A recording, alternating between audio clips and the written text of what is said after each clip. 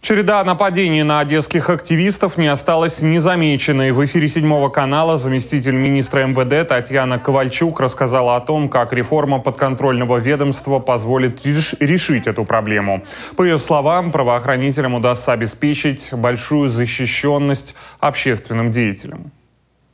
Мы хотим добиться минимизации нарушений прав человека, потому что это жизнь и здоровье человека – это на самом деле самая наивысшая ценность, которая есть не только в нашей системе, но это и тот новый подход, который мы хотим, чтобы руководствовались и как сотрудники наши, и как общество в целом.